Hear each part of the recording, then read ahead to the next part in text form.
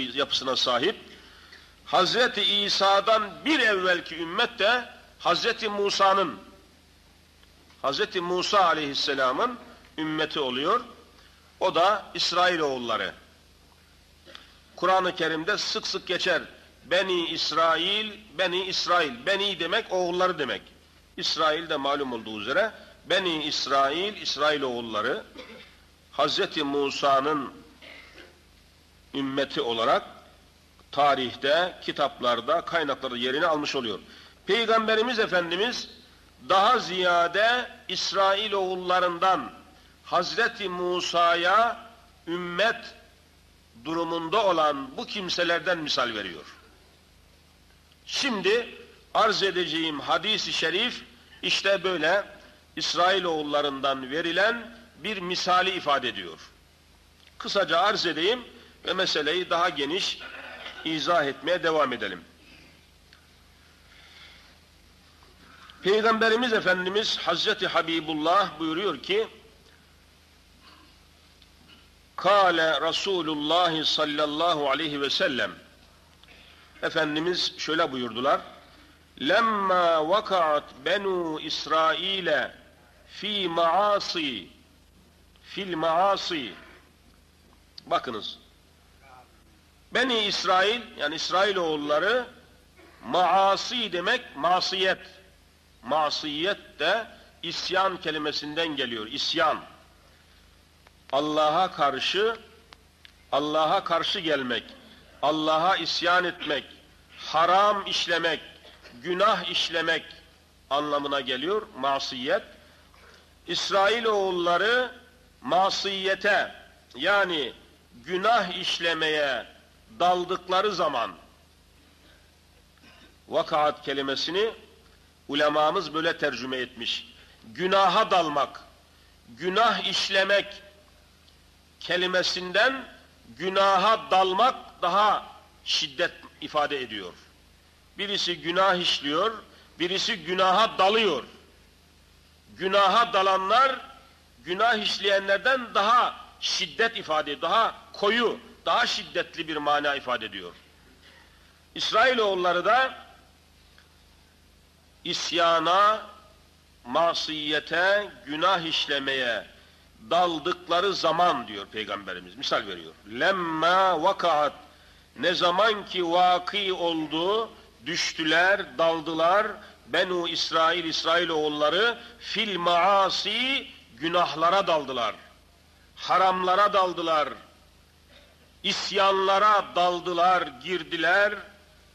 Nehethum ulemauhum Onların alimleri onları nehyetmeye çalıştı. Neha yenha nehyetmek yani sakındırmak. Nehethum onları nehyettiler. Ulemauhum onların alimleri. İsrailoğullarının alimleri günahlara dalan, isyanlara dalan bu kişileri, bu toplulukları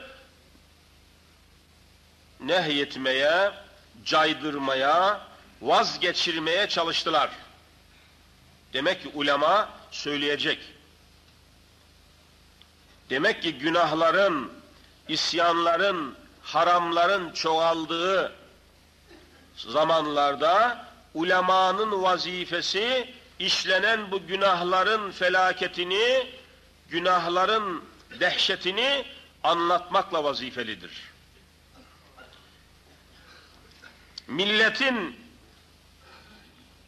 yığın yığın haramlara gittiği, günahlara daldığı, isyanlara daldığı bir zamanda ve bir yönetimin içinde cemaati müslimine hikaye anlatan hocalar cehennemliktir.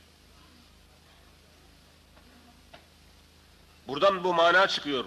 Nehethum ulemauhum. Ulema derhal işin üzerine yürüyecek.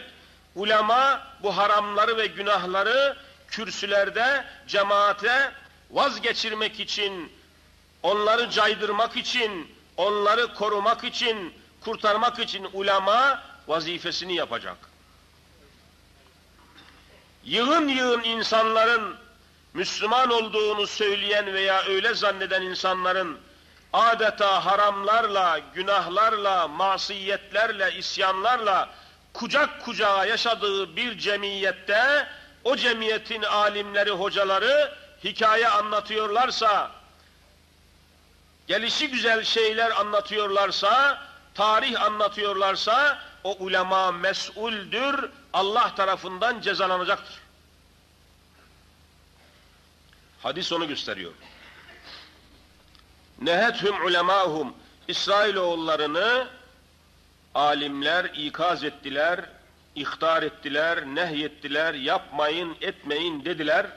Lakin felem yentehu onlar vazgeçmediler. Ulema vazifesini yaptı.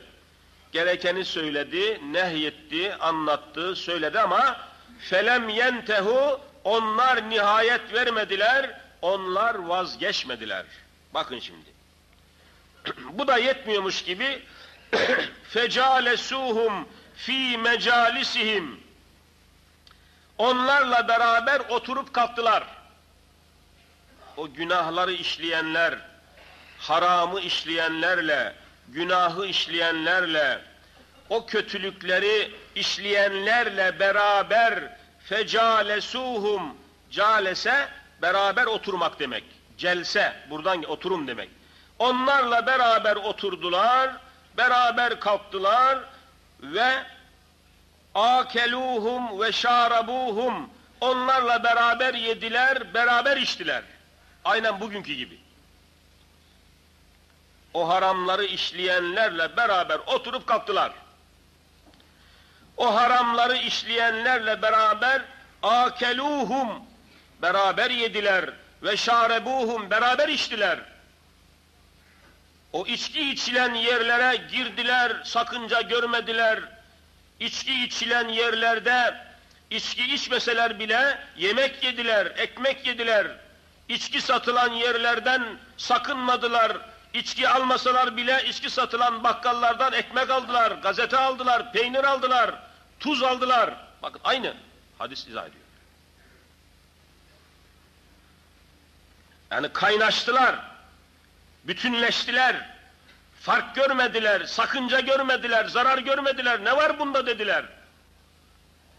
İsrailoğullarının nasıl bozulduğunu Hazreti Muhammed Mustafa anlatıyor. Aynen bizim toplumumuz da şimdi buraya gelecek. Alimler anlatmıştır, işin felaketini, vebalini, belasını anlatmıştır. Fakat felem yentehu onlar son vermemişler, vazgeçmemişler. Aksine peygamberin, ulemanın anlattığının aksine fecalesuhum beraber oturup kalkmışlar fi mecalisi meclislerinde. Onlar neredeyse bunlar da orada. Ve akeluhum beraber yiyip içmişler, beraber oturup konuşmuşlar, beraber gezmiş tozmuşlar ve ilgilerini, alakalarını kesmemişler. Sonra fay takibiye ile geliyor. Fedaraballahu kulube ba'dihim bi ba'din. İşte bela geldi burada. Efendimiz işte işin aslını haber veriyor. Buyuruyor ki bundan dolayı Allahu Teala onların kalplerini o İsrailoğullarının günah işleyenlerinin kalpleriyle o günah işleyenlerle beraber oturup kalkan, yiyip içen insanların kalplerini birbirine benzetti. Aynı yaptı. Onlar da alıştılar. Onlar da ısındılar. Onlar da kaynaştılar. Birbiriyle hısım oldular. Birbiriyle akraba oldular.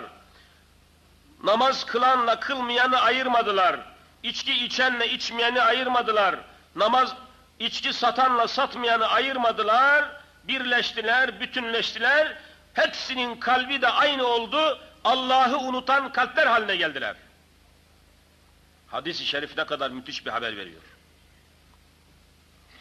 فَضَرَبَ اللّٰهُ كُلُوبَ بَعْضِهِمْ بِبَعْضٍ Kalplerini birbirinin birbirine benzetti. Hepsi aynı oldu. Duygusuz oldular, tepkisiz oldular. Haramlara karşı içlerinde bir ürperti duymamaya başladılar.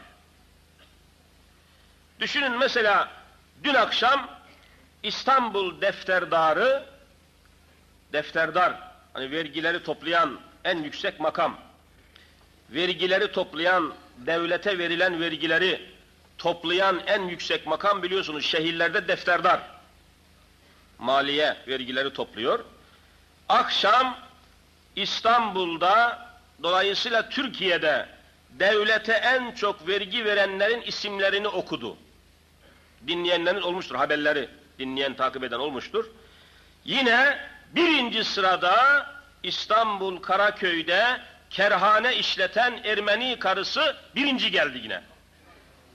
Bunu defterdar öyle izzetle, öyle lezzetle anlatıyor ki devlete diyor 4.6 milyar yani 4.5 milyardan fazla vergi vermek suretiyle rekor kırmıştır. Kendisine teşekkür ederiz diyor. Ve bu o kadar normal kabul edilmiş ki e düşünün yani dört kitaba göre Hristiyanlara göre İsrailoğullarına göre yani Tevrat'a, İncil'e, Zebur'a, Kur'an-ı Kerim'e göre de nikah olmadan parayla, pulla ne olursa olsun nikah olmadan yapılan cinsi temasa zina diyor. Bunun devlet işletmecisi olmaz, bunun parayla caiz olması mümkün değil, devlet yaparsa mümkün değil, hükümet yaparsa mümkün değil, haram haramdır. Zina zinadır, fuhuş fuhuştur. Ve dört buçuk milyar lira vergi vermek suretiyle vergi vermek suretiyle rekor kıran bu fuhuş işletmecisi Ermeni kadın, Allah düşmanı kadın, ırz düşmanı kadın devlet tarafından takdir ediliyor, tebrik ediliyor, rekor kırdı diye mükafatlandırılıyor ve daima el üstünde tutuluyor. Ve 60 milyon nüfusa sahip olan Türkiye, yüzde 99'u Müslüman olduğu söylenen Türkiye'de en ufak tep